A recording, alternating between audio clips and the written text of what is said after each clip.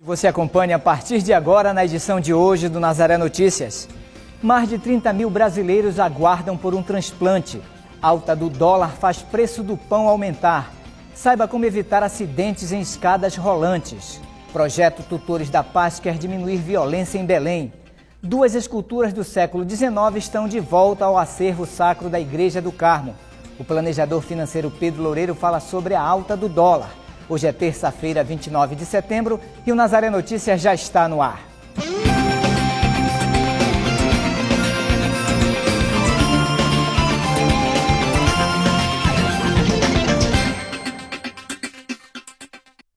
Mais de 30 mil brasileiros aguardam por um transplante. Aqui no estado do Pará são realizados procedimentos com rim e córnea. Mais de 1.500 pacientes estão na fila de espera. A falta de informação e problemas na infraestrutura hospitalar são os principais desafios para a doação de órgãos e para a realização das cirurgias. Aqui no estado do Pará, houve uma queda no número de doadores no ano de 2014. Embora esse seja um dado preocupante, não é o mais grave. O mais grave é que o número de doadores sempre foi baixo diante da demanda de quem precisa de um órgão e aguarda na fila de espera. A demanda é muito pequena aqui no Pará e é importante essa divulgação, né, da importância da doação de órgãos para que as pessoas se conscientizem é, e comecem a, a, participar dessa, dessa situação aí de, de doação de órgãos que é importante para a nossa população aqui. Esses números são baixos porque só quem pode autorizar a doação são familiares de primeiro grau, como pais e irmãos.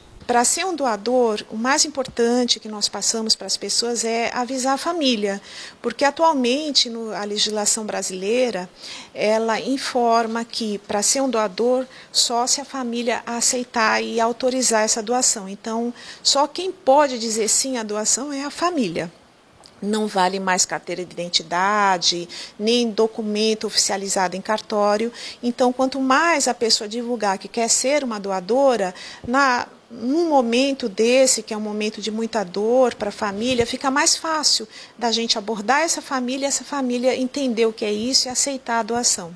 A autorização é importante e deve ser feita o mais breve possível. Um momento difícil para a família, mas que ajuda a quem precisa. É importante que o paciente que esteja em morte morte encefálica, é, tudo isso ocorra, o diagnóstico, a aceitação familiar ocorra de maneira muito rápida, né? Para que se aproveite os órgãos de uma, uma qualidade maior desses órgãos, né? Se deixar passar muito tempo, ocorrem é, é, deteriorações, é, você acaba tendo uma perda de qualidade desses órgãos, né? Atualmente, o Pará realiza o transplante de rins e de córneas. Hoje são mais de mil pessoas aguardando a doação de córnea e mais de 600 pessoas à espera de rim. No estado do Pará só tem dois tipos de transplante, o transplante de córnea e o transplante de rim. Mais é, recente nós tivemos também o credenciamento do transplante de medula óssea, porém ele ainda não foi iniciado. Quando ocorre uma doação aqui no, no Pará, uma doação de doador de múltiplos órgãos, porque há dois tipos de doadores, né? O doador que nós chamamos de coração parado, que é o doador de córnea, né, doador de tecido, e o doador em morte encefálica, que é o doador de órgãos. Então, quando ocorre uma doação de doador de, em morte encefálica, é possível a utilização de alguns órgãos. Aqui no Pará, nós utilizamos rins e córneas, né? Nós podemos utilizar também outros órgãos, mas efetivamente aqui só utilizamos os rins e as córneas, né? Por causa de existir só esses tipos de transplante aqui. O fígado, nós costumamos também é, fazer a utilização dele, porém encaminhamos para outros estados onde ocorre o transplante de fígado. Quem quiser ser um doador, só precisa falar. Então seria importante que as pessoas se conscientizassem disso, não só o leigo, mas também as pessoas que são da área da saúde, para estar tá lembrando que é importante a doação e sem ela não há como fazer esses transplantes. Agentes da Polícia Rodoviária Federal apreenderam na manhã desta segunda-feira dois caminhões com mais de 40 metros cúbicos de madeira que estavam sendo transportados de forma ilegal pela rodovia BR-316 em direção à Cachoeira do Piriá, no nordeste do Pará. Os agentes constataram irregularidade na documentação do transporte e que a transportadora não possuía o certificado de regularidade do Cadastro Técnico Federal junto ao IBAMA. A carga transportada tinha como destino a cidade cearense de Calcaia. A alta do dólar contribui para o aumento de vários produtos brasileiros, principalmente os que são importados e pagos com a moeda americana. O pão, por exemplo, é um dos produtos que sofreu aumento. O trigo para a sua produção é importado e pago com a moeda. O café da manhã e da tarde dos paraenses sofreu aumento de 10%. Influenciado pela constante alta do dólar, o quilo do pão está 10% mais caro em Belém, segundo o Sindicato da Indústria de Panificação. O motivo se deve ao fato do trigo utilizado na produção ser importado dos Estados Unidos e da Argentina, ou seja, o ingrediente é comprado em dólar o quilo do pão está custando em média R$ 7,00, mas em algumas padarias esse valor pode chegar a R$ 13,00. Esse preço tem chamado a atenção dos consumidores e, por isso, alguns estão levando menos pães para casa. As padarias e os demais comércios sentiram a alta do dólar sofrendo com as mudanças econômicas do país. Um bolo que custava R$ 12,00 passou a custar R$ 16,00. Foi preciso aumentar o preço para comprar o trigo e aumentar a produção. E para falar sobre o aumento do dólar e as implicações na economia brasileira, o planejador financeiro Pedro Loureiro conversa com Larissa Cristina. Marcos, a moeda americana vem subindo e nas últimas semanas atingiu o patamar de R$ 4,24. O planejador financeiro Pedro Loureiro está aqui com a gente para falar um pouquinho sobre essa alta do dólar. Pedro, é importante a gente esclarecer logo de início que fatores que estão contribuindo para que o dólar esteja tão alto. Olha, existem vários, cada um, um, colabora de uma forma, né? Primeiro deles é essa instabilidade política que a gente tem no Brasil. Isso daí cria uma insegurança no mercado, uma insegurança muito grande. E não é só no mercado aqui, não é só o brasileiro que fica receoso com a nossa economia e com a, a nossa é, conjuntura política. Os grandes fundos, os grandes investidores internacionais. Com isso, o que é que ocorre? Geralmente eles procuram lugares seguros para investir, porque esses grandes investidores, a gente fala aí de centenas de milhões de dólares, não fala em 10, 20 mil. Eles procuram lugares mais seguros. Então, tornando-se um mercado um pouco mais instável, mais assim nervoso, como a gente diz aqui no Brasil, existe uma tendência do que a gente chama de fuga de capitais. Esse capital ir embora. Né? Então, e esse capital vai embora sempre em que moeda? No dólar. Com isso, reduz a quantidade de dólar no mercado, reduzindo a lei da oferta e da procura. A moeda passa é, a custar mais, vamos dizer, a relação dólar-real fica mais prejudicial para o real. Esse é um ponto. O outro ponto é sim a instabilidade política. As pessoas ficam com muito medo. E o brasileiro tem um histórico, quando se fala que a gente vê muito, muitos órgãos de imprensa falar que o dólar na história do Brasil nunca foi tão alto. Não é verdade, já foi sim, só que não no passado recente. É isso que a gente tem. Na época do real, de fato, ele foi o mais alto, apesar de já ter batido também no paralelo 4, 4 e pouco ainda no governo FHC. Então, primeiro, as pessoas acreditam muito no pânico, isso é um problema, e isso afeta a inflação, afeta a cotação de moeda estrangeira, afeta todo o mercado. Por quê? Porque o brasileiro ele ouve e se apavora. Então, existem motivos para o dólar subir?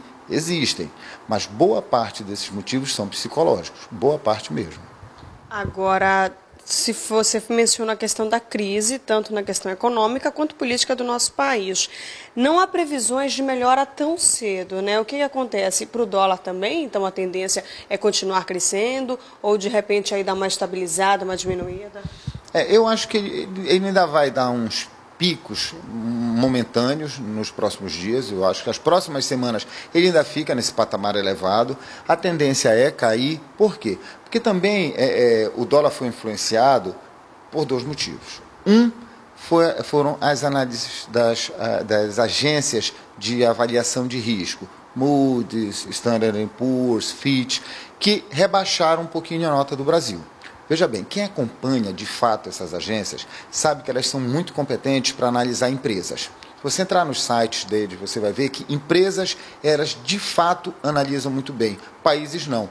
Tanto que todas elas não fizeram previsão da crise de 2008, que na verdade começou em 2007. Nenhuma delas. Então, a gente tem visto na história elas errarem muito no que se trata de países, análise de país. Acertam na empresa, erram no país. Então, isso com o tempo a gente vai ver que a situação da economia brasileira não é uma maravilha, o governo tem errado muito e consistentemente né, e frequentemente errando, mas não é o fim do mundo. Então, com o tempo, as pessoas vão perceber isso. Só que muitos investidores internacionais, pela regra dos fundos que eles administram, são obrigados a tirar dinheiro do país que tem um rebaixamento da nota. Então, às vezes, eles, o, o, o, gestor daquele fundo até acredita na economia brasileira, mas ele é obrigado a tirar pela regra do fundo. Então, esse é um fator que influencia e que as pessoas perceberão com o tempo vai cair. Segundo, se nós olharmos quem são as pessoas que mais falam hoje de corrupção, a corrupção, esse clima de corrupção também afetou um pouquinho o dólar, nós vamos ver que muitas das pessoas que falavam contra o governo estão começando a ser indiciadas e estão se calando. Então, também o ambiente político vai dar uma arrefecida. Quando ele se acalmar, que ele amornar um pouco, as críticas diminuem e o dólar vai, vai baixar. Não deve voltar rapidamente para o que estava, dois, dois e pouquinho. Isso eu não acredito.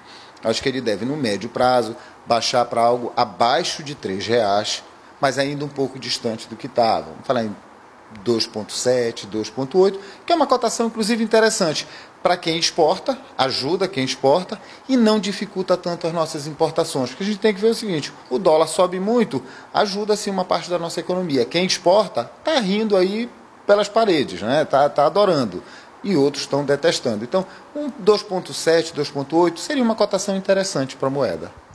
Para a gente finalizar, Pedro, é importante a gente falar para as pessoas o, a questão do turismo no Brasil. A gente sabe quantos brasileiros visitam os Estados Unidos. Para essas pessoas está sendo complicado chegar nos Estados Unidos com esse dólar tão alto. Então o impacto é maior para eles.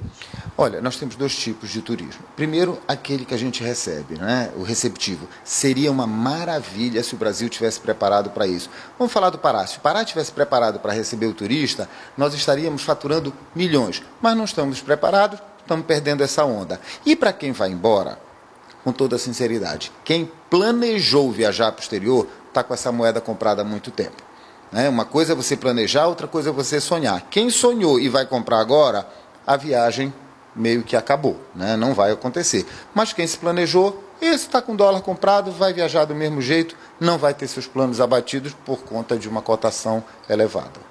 Quem de repente não se planejou, mas quer se planejar, seria para daqui a quanto tempo? Eu, eu, cotaria preço, não compraria moeda e vamos botar uma viagem para daqui a um ano. Antes disso ainda vai ser pesado. Tá. Obrigada, Pedro, pelas suas informações. Marcos, eu lembro que o planejador financeiro Pedro Loureiro está com a gente aqui todas as terças-feiras. Você pode sugerir vários temas para as nossas entrevistas através do nosso WhatsApp. Agora eu volto aí no estúdio, é com você. Vamos homenagear Belém em seus 400 anos e você pode participar dessa homenagem. Envie para nós o seu olhar sobre o que de bom temos aqui em Belém. Você vai ajudar a compor as homenagens aos 400 anos de Belém. Nosso WhatsApp é o 988023444 e toda segunda e sexta-feira mostraremos as fotos enviadas por você. O WhatsApp é o 988023444. São muitos os acidentes que acontecem em escadas rolantes, principalmente com crianças. Saiba nesta reportagem quais os cuidados para evitar essas situações de perigo. As escadas rolantes são facilidades do dia a dia, mas já causaram muitos acidentes, na maioria das vezes provocados pelo uso incorreto do equipamento. É importante prestar atenção na entrada e na saída das escadas rolantes. Utilizar o equipamento desta forma, como eu estou fazendo, com apenas uma das mãos no corrimão, está incorreto. O ideal é utilizar as duas mãos nos corrimões da escada rolante. E de acordo com a norma brasileira, é importante que todas as escadas rolantes estejam sinalizadas com adesivos que chamem a atenção das pessoas sobre as possíveis situações de perigo nas escadas rolantes.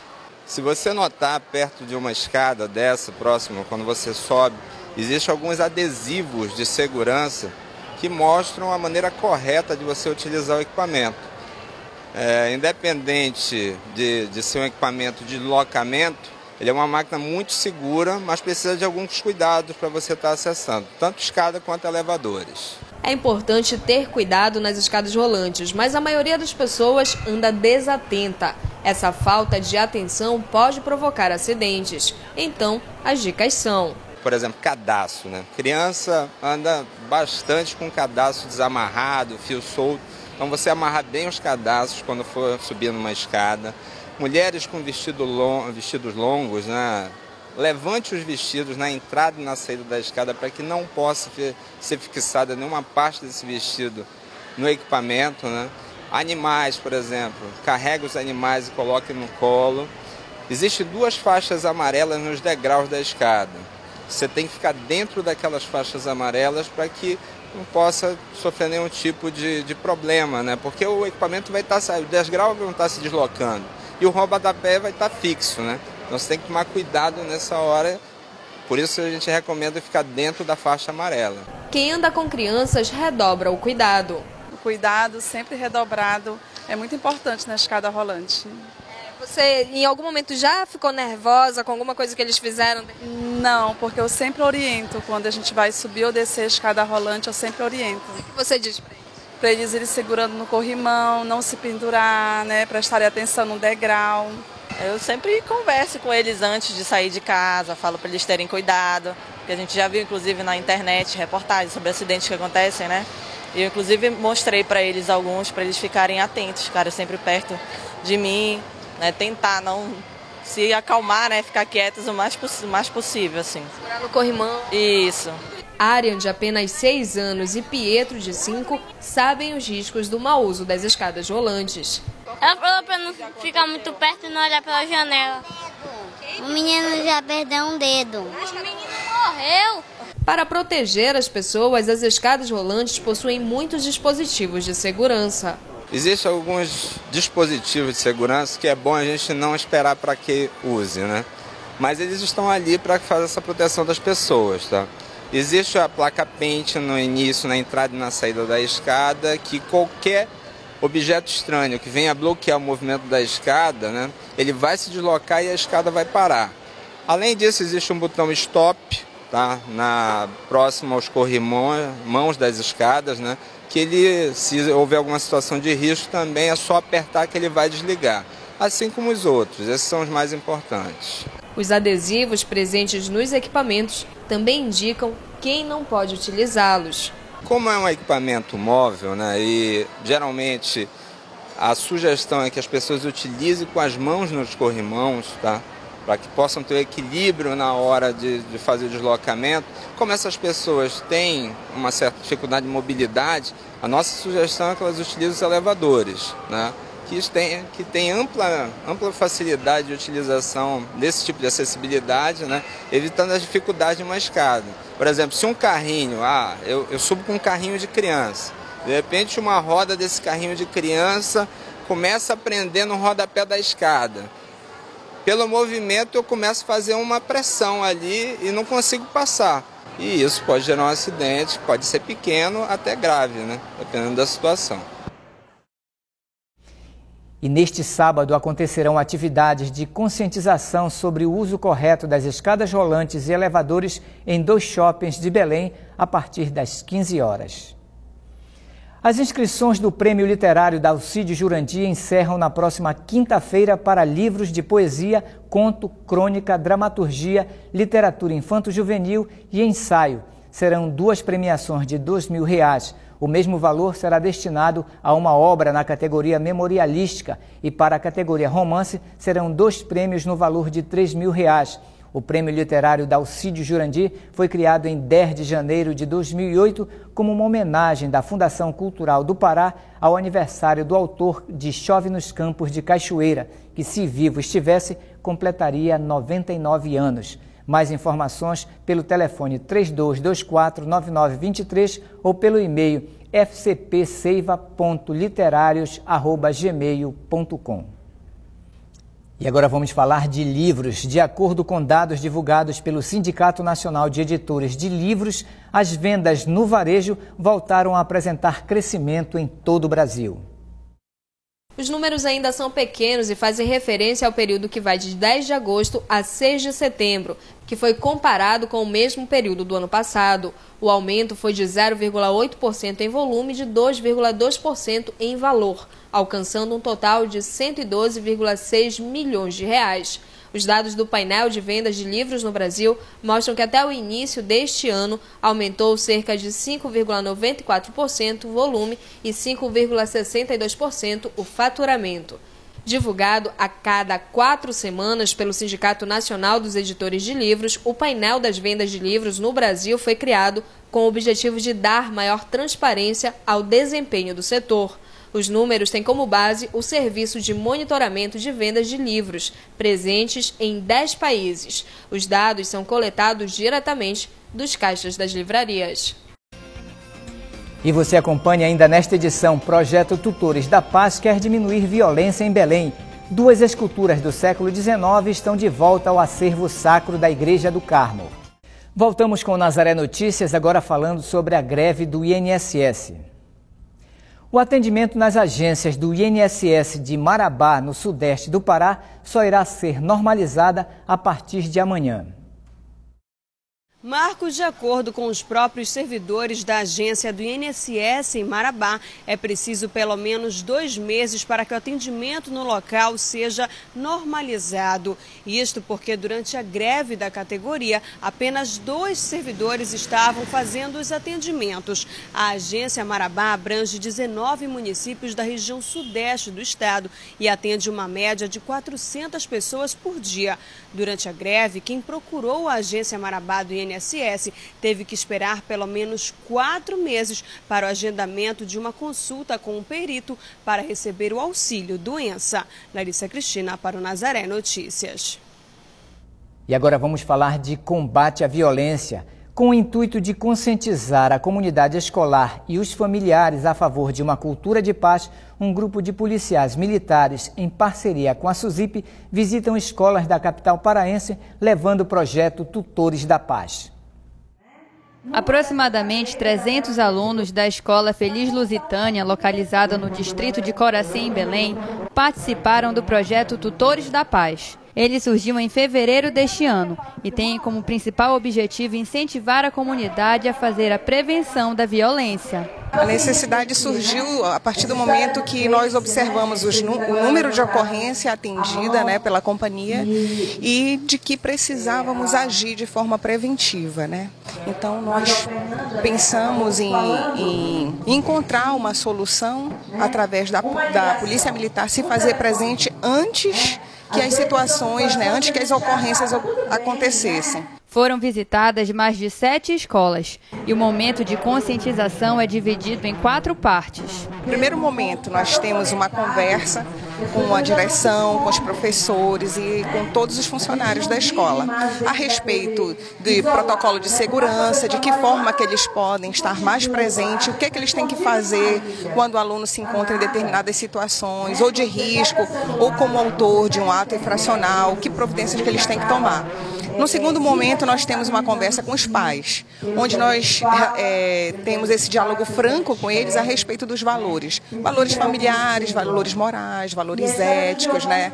valores do cidadão. O que é que o cidadão deve se comportar, como ele deve se comportar. Depois a gente tem esse momento com eles, né? já com os alunos, onde a gente explica para eles o que é que está acontecendo na escola deles, por que, que a polícia está presente na escola deles e traz para eles esse leque né, de, de, de, informações que vão acontecer ao longo do projeto, que são temas abordados a respeito de droga, bullying, bullying virtual, crimes virtuais, vitimização, ética e cidadania. Depois disso, nós temos uma parceria com a SUSIP, que eles trazem um detento e que relata para eles um pouco dessa vivência, dessa experiência dentro do cárcere já, né, que é assim um choque realmente de realidade para eles.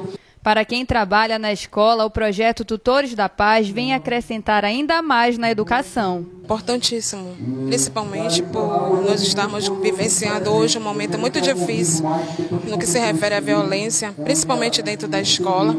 E nós temos esse, essa oportunidade de adquirir um projeto desse para justamente a gente agir de forma preventiva com os nossos alunos. Ele é muito importante porque tira os jovens da rua também e incentiva bastante para que ele não venha cometer atos errados na rua, até ficar com medo, né? Porque é muito importante mesmo. Um dos momentos que mais chama a atenção é a presença de um detento que fala sobre a realidade carcerária. Esse projeto que nós estamos trazendo para cá é o projeto escolar. O projeto escolar é desenvolvido pela Superintendência Penal e motivo de muito orgulho para a gente, a gente está nessa parceria com a Polícia Militar e assim, tem sido de grande êxito, porque a gente está possibilitando é, trazer para essas escolas um pouco da realidade do cárcere. Os alunos participaram da palestra fazendo perguntas ao interno do sistema penal. Para eles, o momento é de aprendizagem. É, é uma, uma forma de dizer que a escola está ligando com os alunos, né? Não está deixando os alunos de lado. Tipo, só tem, só tem a obrigação de ensinar aquele momento e quando a gente sair já é problema dos pais. Então isso é uma coisa bem bacana. A Universidade Federal do Pará abrirá cinco novos cursos de graduação. O curso de Engenharia de Bioprocessos será ofertado pela primeira vez, ofertando 40 vagas com início previsto para o segundo período de 2016. Quatro cursos serão disponibilizados pela primeira vez para o campus de Ananindeua. São as licenciaturas em Física, Química, Geografia e História. O Instituto de Metrologia do Estado do Pará iniciou esta semana a Operação Dia das Crianças aqui em Belém. A ação ocorre em todo o país. Tamela Almeida tem mais informações. A ação visa coibir a comercialização de produtos que estejam sem o selo de identificação da conformidade e irregularidades. Serão vistoriadas aproximadamente 60 empresas da região metropolitana de Belém. Os produtos que não tiverem o selo serão autuados e os responsáveis serão penalizados.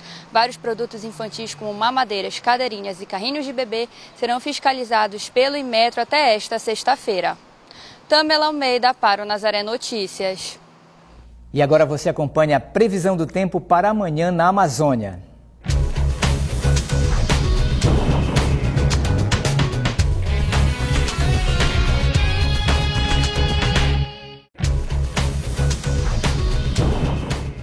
Município de Ji-Paraná, no estado de Rondônia, o dia ficará encoberto com pancadas de chuva. A temperatura mínima será de 25 graus e a máxima de 34. Em Itaituba, município paraense, a quarta-feira será de sol entre nuvens. A temperatura mínima fica em 26 graus e a máxima em 34. E em Tangará da Serra, no estado do Mato Grosso, o tempo será parcialmente encoberto e se manterá estável durante o dia. A temperatura mínima fica em 26 graus e a máxima em 34.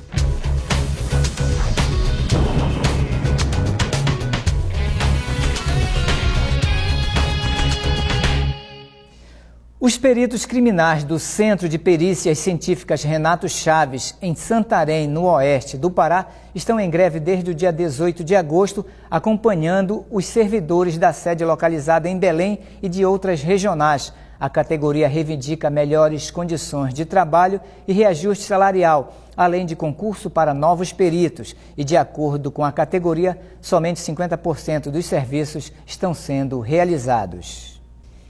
E ainda falando de protestos, cerca de 50 indígenas ocuparam o prédio da Coordenadoria Regional de Educação em Guajará-Mirim, em Rondônia, a 330 quilômetros de Porto Velho. Os indígenas são representantes das aldeias Saragana, Comunidade Ribeirinha e da linha 10 do ramal Bom Sossego.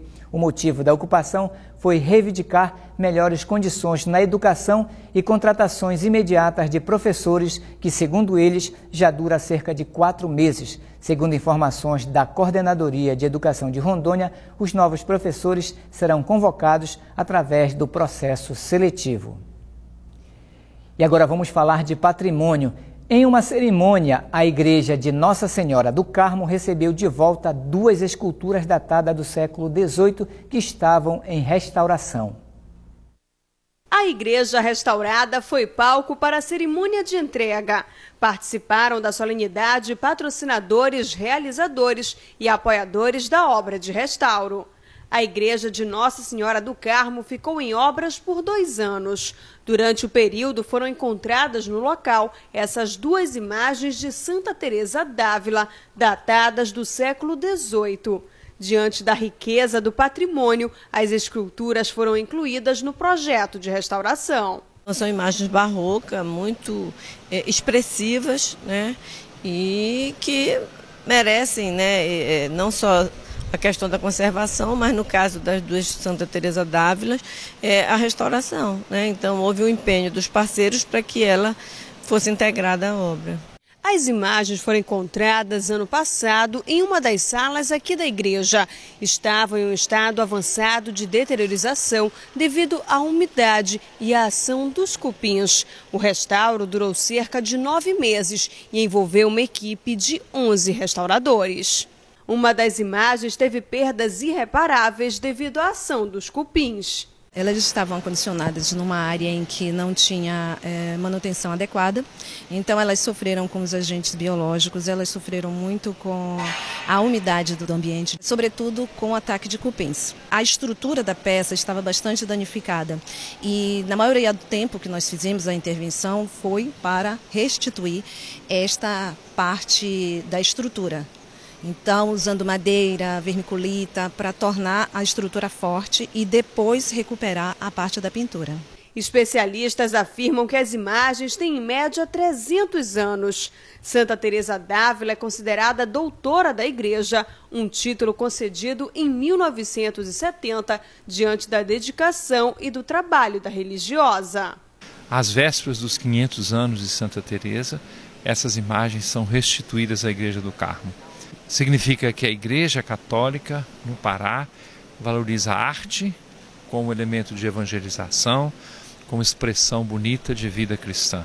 E nós desejamos continuar assim e agora temos outras metas a serem alcançadas, especialmente a Igreja da Ordem Terceira e a Igreja das Mercês. E peço a todos que rezem para que nós encontremos os recursos necessários. A restauração da igreja e das imagens foi financiada pela Vale, que tem a missão de contribuir com a preservação do patrimônio nas cidades onde atua. A Vale é uma empresa que tem compromisso com o Estado do Pará e nas áreas que nós atuamos. Isso não é diferente com espaços culturais. Essa foi uma proposta daquele Diocese de Belém, junto com o IFAM, que levou para a Vale para que nós juntos pudéssemos restaurar a Igreja do Carmo e, para nossa grande alegria, encontrar essas duas belas imagens, Santa Teresa d'Ávila, que nós apoiamos também. Após o retorno das imagens, o cuidado das esculturas ficará a cargo dos padres salesianos, que administram a Igreja do Carmo há várias décadas. As obras de Deus devem ser bem conservadas. Esta obra que embeleza a cidade, e não pouco, é, deve ser conservada depois de tantos séculos, tanto tempo passado. Acontece que as obras de Deus para ser conservada, precisam de ajuda. A sociedade que participa da igreja tem obrigação de ajudar a igreja para, na conservação, na manutenção e no brilho, na beleza destas obras, que são de cultura do povo e, portanto, são importantes, porque é, é, é história e a história é alma da nossa sociedade.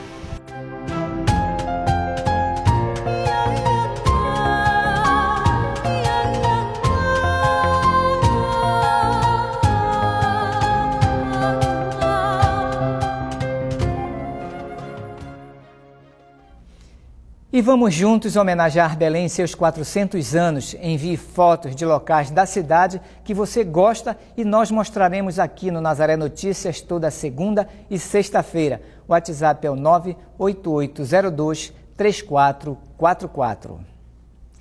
Nestes dias que antecedem o Sírio, muitas atividades culturais e artísticas contam a história e a devoção da Rainha da Amazônia e lançam um olhar sobre as diversas linguagens artísticas. No Palácio Antônio Lemos, uma exposição retrata a religiosidade da capital através de obras sacras gravadas em tecido. Difícil imaginar que essas obras de arte surgem de camadas de tecido. Um pequeno recorte unido a outro compõe o trabalho final. A técnica é semelhante à xilogravura, mas aqui tem como base o tecido. O trabalho é de autoria de Carla Beltrão, artista plástica há mais de 20 anos. Ela retrata a devoção pessoal em suas obras. Eu fui nascida e criada na fé católica, né? E isso me alimenta. Também tenho um olhar assim, não de, de cultuação, eu tenho de agradecimento, é como se. Eu, eu, eu costumo dizer que a gente tem na, em casa as fotos é, de família, a gente tem a foto das pessoas que a gente acha que é super importante, né? Que são os nossos santos.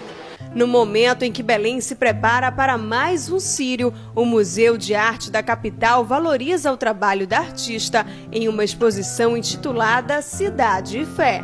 Como as coisas acontecem no tempo certo, vamos dizer assim, houve o convite do MAB e a disponibilidade desse salão, né, da, da, da galeria, justamente num período propício, né, que é um, um período que se inicia é, o nosso Sírio, né, é onde pessoas, muitas pessoas de fora vão poder presenciar, vão poder prestigiar essa, é, essa obra fantástica da Carla. Ela pensou nessas obras, nessas exposições, em forma de homenagem à cidade. Né? Ela, não sendo paraense, mas há, há 20 anos morando aqui, abraçou, né? tornou-se filha da terra e, e aí ela pensou nessa, nessa possibilidade de homenagem. O público pode conferir cerca de 60 obras, entre exposições abstratas ilustradas como mapas lúdicos de territórios imaginários imagens sacras que demonstram ícones da fé católica, traduzidas em santos de inspiração bizantina e barroca. A técnica utilizada pela artista para compor as obras é bem particular. As imagens são gravadas no tecido com a ajuda de um pirógrafo, um instrumento que, a partir de uma ponta quente, recorta essa imagem para o tecido. Podem ser utilizadas várias camadas de tecido que, sobrepostas, absorvem o calor para compor os desenhos. Para compartilhar o conhecimento, Carla ministra oficinas na Fundação Curro Velho. Os alunos vieram prestigiar a exposição. Me chama a atenção o aproveitamento. É por isso que a professora fala: não jogue fora nenhum retalhinho, porque vai ser preciso. E hoje, olhando, é realmente a gente aproveitar tudo, não joga nada fora. Todo retalhinho é aproveitado. Essa leitura que a Carla faz de, de obras antigas, é, mantendo aquilo que é sacro, né? E com essa interferência do tecido dentro da, dentro da proposta da obra. Além do fato dela socializar esse conhecimento com os alunos. Né?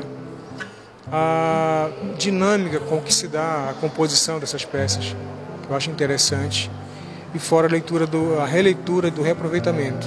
Carioca, mas residente em Belém há 30 anos, a artista utiliza a exposição para homenagear a cidade. Eu já estou trabalhando com o intuito mesmo de homenagear Belém, agradecer, né, dentro da minha fé, por esse tempo todo e por ter chegado onde eu cheguei, né.